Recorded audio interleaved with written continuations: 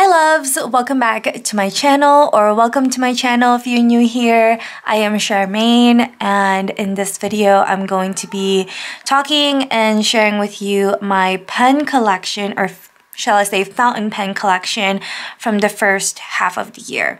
Now I'm really excited but also a little bit nervous to do this video just because one I don't have a whole lot and the big number two is that I am no expert. So um, I guess a little um, backstory is that I got into a fountain pen back in April. So I purchased, well, no, I shouldn't say that. I actually got the Pilot Kakuno back in December and I hated it. and then I was just like, no, maybe this isn't for me. So I kind of just let the whole fountain pen thing go. And then in April 1st, I received my first order of fountain pen, which is the Kaweco Macchiato right here, this baby right here. And ever since then, I have been hooked. I absolutely loved how this wrote so much that, as you can see, I have quite a collection of Kawecos. Um, and then I, you know, went into other ones. And yeah, now I'm just kind of like in love with it. And that's pretty much all I use when I'm writing aside from the Pentel Clena pen, I guess I love that pen, but for the most part, 80% of the time I'm using one of my fountain pens. It's just been like a fun little journey. Um, so yeah, again, I'm no expert. I'm just, you know, here for fun and I love using them and you know, what I'm going to be talking about is just from experience and yeah, it's it's been a big like new hobby for me and also I guess just like a fun learning experience. So anyways, with that said, um, I do have a few pens over here that are rather, I don't know, like they're cheaper fountain pens and you know, a lot of people actually really, really love some of these, or especially the Kakuno, but I just can't. Like, I don't know what it is. So let me put these aside and then we'll talk about that. Like I said, I purchased the Pilot Kakuno last December and maybe it was the ink that I didn't like or the combination of the two, but it was just, it wrote too thick and I think when I did it like when I filled it with the ink and everything, it just got everywhere and it was just so messy that I was just like totally turned off. Um, but yeah, maybe I'll give it a go again now that I have inks that I like and I kind of have a little bit more experience with like inking things and whatnot. Um, but yeah, I, I really didn't like how this wrote. It was just way too thick for me, even though it is a fine nib. I purchased this on Amazon. It was super cheap and it's just the cutest little pen to be honest. So like i don't want to get rid of it but it just didn't work out for me when i when i tried it. So maybe i will give it a go again one of these days just to see because like i said i have a bit more experience with like inking things and just like how to write with them and stuff like that. But yeah i just didn't really get on with this. And then i have these. These are platinums i think. Yeah this is by platinum and these were really affordable as well. And I love how they look. I really really do. Look at that. It's super cute. And there's like a cute little star on the nib. And I was so excited about this. I think they're both yeah they both have like cute little stars on the nib. And I think I got these both in fine. Um but when I inked it it leaked everywhere. So I don't know what I did but um, it didn't leak over here or anything. It just kept leaking here. So the ink was all over the cap. It was all over the nib. It was like some of it was over here. It just kept leaking. I don't know what it was. So yeah, I haven't used these since. Like I cleaned them out and I was like, nope, don't want to get ink everywhere. But they are just super cute. So let me know what I did wrong. Um, I all I did was put in a cartridge, to be honest, because it came with a cartridge and a converter. Oh yeah, I used the converter, this thing. And yeah, it just kept leaking out of the nib. Even when it's just in there, it was just leaking. So, I don't know. Really sad about it because it's such a cute little pen.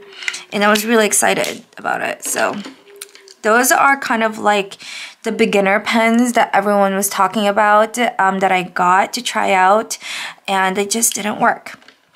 Okay, like I said, my very first um, fountain pen in April when this whole journey really took off was the Kaweco Sport in Macchiato. Oh, oh, by the way, this pen case is by Girologio. There's the brand. And I got mine off of uh, Anderson pens. I will link it below, but I believe other um, stores have it as well, like resellers or stationery stores. Um, I really love it. It's like this really nice Swedish material and then the inside is this beautiful plaid and this is a 12 case pen. So anyways, um, this is my very first fountain pen um, that I actually really, really loved. I loved it so much that I just kept buying Kaweco Sports in like every color that I have. So I have this in extra fine and it writes beautifully. So with Kaweco Sports, I find that it does have quite a bit of feedback because, you know, it is an extra fine. So you're really going to feel that kind of like grit on the paper. But I enjoy it. It's not too scratchy for me. Like I, I think it's awesome to be honest. So I really do love these little pens. So yeah, I have the um, Macchiato in extra fine. I have this one that's currently inked right now. This is in blush pitaya. And I think this one's also extra fine. Yeah, so I write very, very small. I prefer an extra fine nib. Um, so a lot of my Kawecos are actually in extra fine. And like I said, I have quite a few here. So let me get them out and then I'll see what nibs they have. Because not all of them have extra fines. So those two are extra fine. Here's a mint colored Kaweco Sport. And this one has a fine nib. I actually have never inked this one, so this is totally brand new. And I tried to put, um, what's it called, this kind of clips on the Kaweco Sports. So just like the normal clips. And I always try to match it with whatever color um, the finials are. This is finial, right? Like on the tip. Um, so yeah, this one's silver. So those are all like my Kaweco Sports with the silver finish. Um, okay, and then I have this one. I think this one's just called green. It's like a beautiful, almost like emerald hunter green. And as you can see, this one's gold, which is really pretty. I love the gold. Um, this one's an extra fine. I also have never inked this one, so that one's new. um, I have this one, I think this one's called Bordeaux. It's just a beautiful burgundy wine color. I've used this one just a little bit, not a whole lot. Um, this one's extra fine, but it's not as fine as these two for some reason. So yeah. Um, and then I have the white. And I think this one's also... Oh no, this one's a medium. Look at that. I think I switched the nibs on those. I, I know you can like easily switch these out. So I've done that with a few of them. But yeah, this one's the medium. I have inked this white one before, but I've never actually like used it. Um, I think I just inked it with a little bit of ink just to try out and it's okay. Um, I don't know what it is about the white color. It just, I just don't like it. I think it's just too white. I don't know. I don't know. I, I just don't gravitate towards this white Kaweco as much as I thought I would. Um, so anyways, those are all of my Kaweco sports. Now, I have three more here and they're the Kaweco collection. Um, I mean, they look the same, but these are like, I don't know, the limited edition ones, I guess you would say, because these say Kaweco Sport, and then this one, or these ones, say Kaweco Collection. And these I've actually used quite a bit since I got them. So my all-time favorite is this one. This is dark olive. I got this one after the macchiato. So this one and the macchiato I've been using since April nonstop and only this month. And today is what, September 24, I think today is. Um, I finally cleaned them out because I finally used up all the inks that were in them and I'm giving them a break. But I love this one and the macchiato. They're my top two from this entire Kaweco collection that I have. Um, but anyways, yeah, this is the dark olive and for the Kaweco collection series, I guess you would say, I have these kinds of clips on them just so I can, you know, differentiate between the two. Um, and I just think it just makes it a little bit more special. So yeah, I just love this color, dark olive. I think it's so good, especially with the gold detailing. It's beautiful. And this one is in extra fine. Um, so the thing I noticed as well about Kawecos is that yes, they do have a lot of feedback, but the more that you that I wrote with it at least, um, the smoother it's gotten. So especially with this one, I've been using this pen since April and I've noticed that it's getting smoother and smoother, um, probably because I've been using it so, so, so much. Um, so yeah, that's one thing to keep in mind, I guess. Um, okay, and then I also got this, or did I, I got this one first, yeah. So this is the iridescent one that came out over the summer and I just think it's so beautiful. There's actually another one that I think is called coconut. It's like a frosty white. It's very similar to this but it doesn't have the iridescent um, effect that you see right now. Um, so yeah, I went with this one. Obviously, I just love that purple and green sheen. I think it's beautiful. And this one is also in extra fine so yeah, I've used this one quite a handful of times too. I, I do really enjoy it, especially especially the color. I think it's beautiful. And then last but not least is the, I think this is lavender. Yeah, I think it's lavender, not lilac. And I just love this. It was so much fun to use this over the summer. I think it's such a gorgeous color. And I think I do have an extra fine. Yeah extra fine nib as well. I think I had like Sailor 252 in this and it was so good together. Like such a good color combination. So I did use this one quite a bit as well over the summertime. So those are all of my Kaweco Sports or Kaweco pens that is like this. I do have one more Kaweco, which is this one. I believe this was my third fountain pen, and I love this one. Oh gosh, it won't come out. Okay, so this is the Kaweco 20s Jazz. I saw this off of somebody on YouTube. I think it was Abby, Abby C. Um, and I just fell in love with it. It's so pretty and also very affordable for what it is. I think it was like 70 60 70 dollars which i don't think is bad at all. It's such a beautiful pen. It has be like good weight to it and just aesthetic is so beautiful. I i love it. I love how it looks. Um, it also comes in other colors if you're wondering. I'm thinking of getting the orange next but this is such a beautiful pen. Now i've had this ink since april.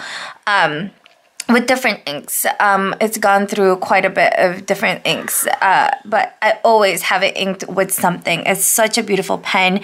I might give it a break this um, season, um, but it, I love it so much. I do have an extra fine and it writes so good.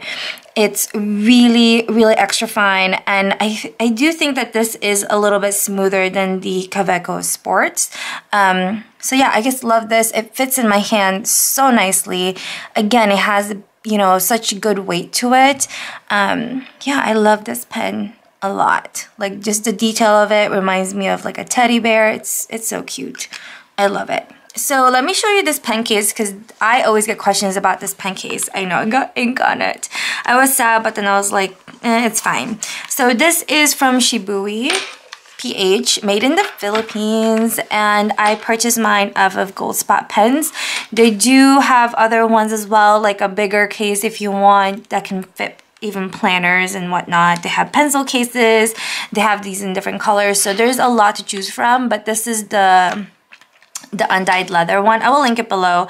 I think I paid around 60 bucks for this, which I thought at the time was so much, but really it has, you know, it has proven itself to be really worth it. I love it so much. I know it's showing some wear already, but that's totally okay with me.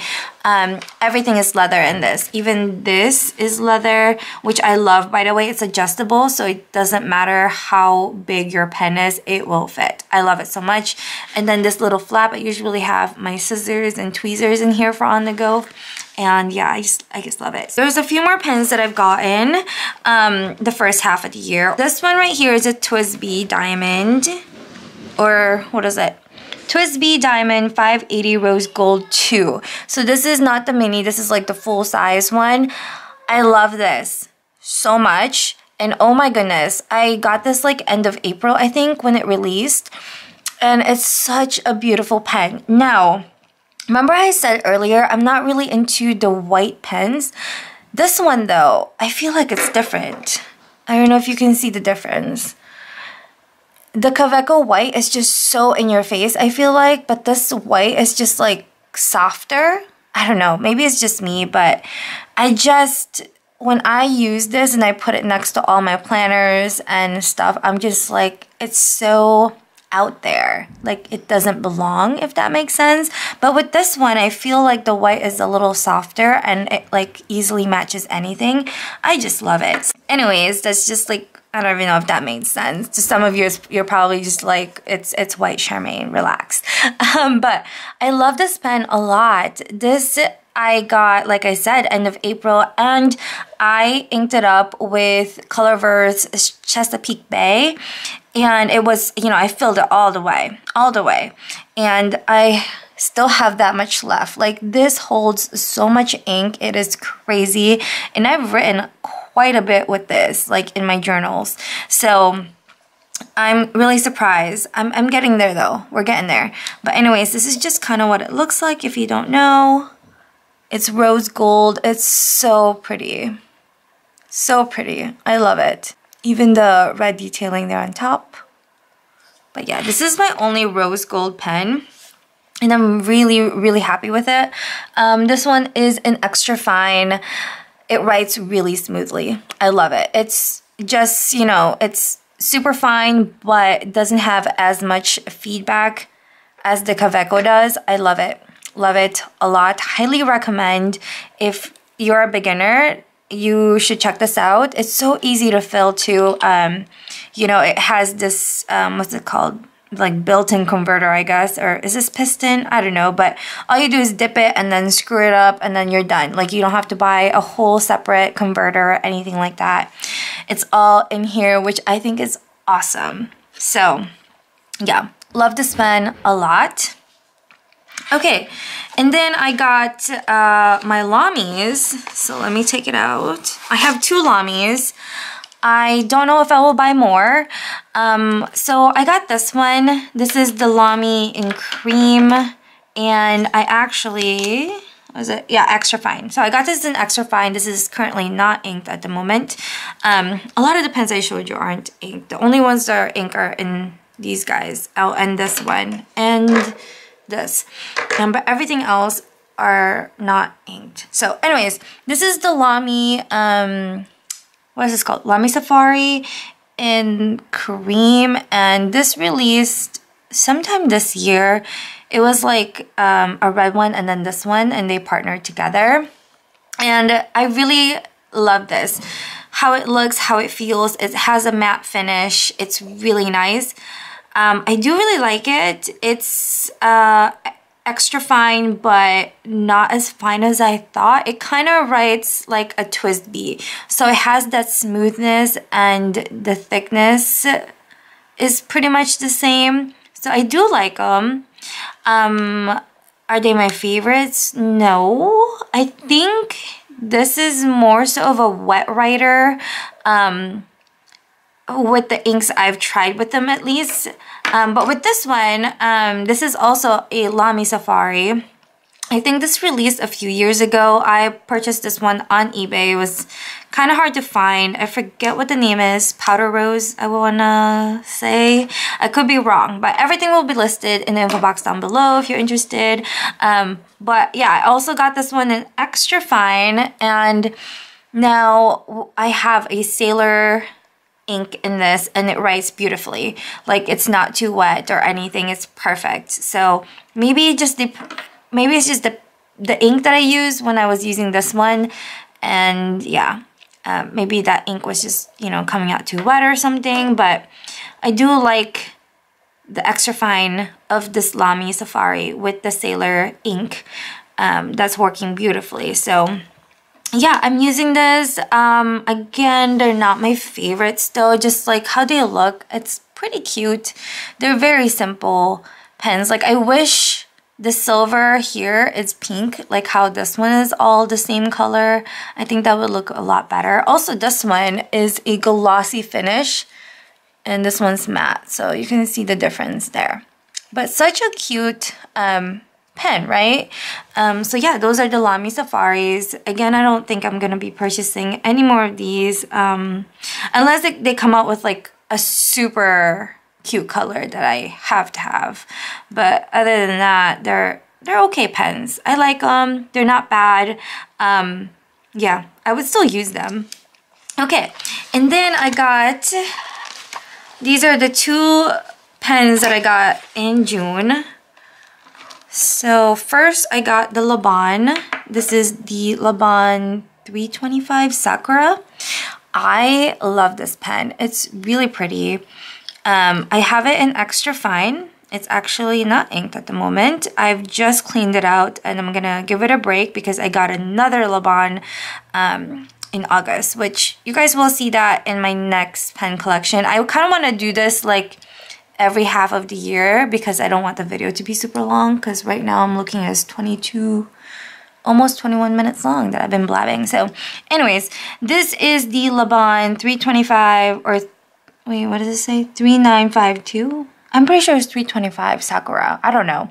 But it's such a beautiful pen. I saw this and really, really wanted it. It was the first thing that I uh, checked off of, of my wish list. Like when I finally sat down and made my fountain pen wish list, this was my number one that I was like, I, I want to get this one first. Just like the little details on it is so beautiful. Look at that. Oh, I love the color combination and just like all the gold detailing. It's so beautiful.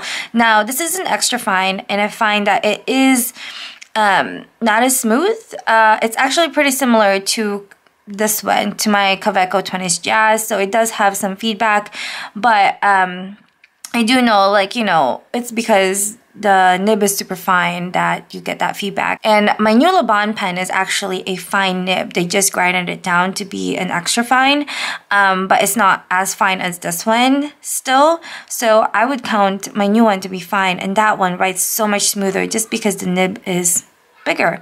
Um, so yeah, that's another thing, you know, to keep in mind. The smaller nibs, the, I guess, more feedback you get. Um, again, I'm still learning with this, so I don't know. That's just kind of what my experience have been like. Um, but I still do really enjoy writing with this one. I've used this all summer, and I I love it so much. I'm just gonna give it a break for the season because yeah, it, it needs a break. It actually. Um, I don't know what happened. I don't think you guys will be able to see it, but there are some scratches right there. I think it was because I shoved it in with my other stuff in the pencil case, but it's fine. It's fine. It's such a beautiful pen. Okay, last but not the least, this is my last purchase in June.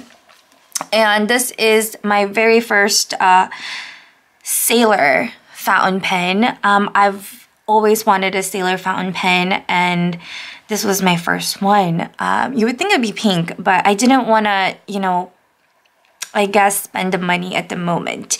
So I bought this because one, I love the color, and two, it was such a good deal on Amazon. I am pretty sure I shared it with you guys when I first got it. Um, I think it's still on Amazon.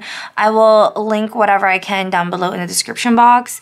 Also, I'll like make a list on my Amazon store for fountain pens, whenever I see a deal, I will put it on that list so you guys just keep checking that list um, and you know shop the sales I guess. Um, so anyways this is Dragon Palace um, from Sailor. It's one of the Shikiori I believe um, collections that they came out with a few years ago. I want to say two years ago. Maybe I could be totally wrong but I love this one so much. It's actually in medium fine. Um, it's 14k and I only paid I think it was $87 with this all the way from Amazon Japan and it is beautiful. It came with everything and it's authentic and it's just I love it. I love it so much. So this has really um what is it called? Like it really made me love um Sailor and made me want to buy more because I loved how this one wrote. So it is medium fine, so it's a little bit thicker than what I prefer. Like I said, I really like my extra fine nibs, especially the Kaweco ones, like how fine that gets. It's just awesome. But this one, even though it is medium fine, it can still write pretty small. Like I just love how the ink flows in these. Also just like how it feels when you're writing it. It's so smooth and fine at the same time. Like I just enjoy writing with this a lot in my journal. So this one is actually inked. It's been inked since I got it. I, I've just been like switching the inks and I've been really, really enjoying this. So again, this has really opened my eyes and realized I love Sailor and that gold nib makes such a huge difference. So that is it. I love this so much. Definitely stay tuned for my next pen collection, which will be towards the end of this year because like I said, I kind of want to do this like every half of the year just to see how we progressed or whatever. you guys know what I'm saying, right? So anyways, that is it. Again, everything will be linked and listed in the info box down below.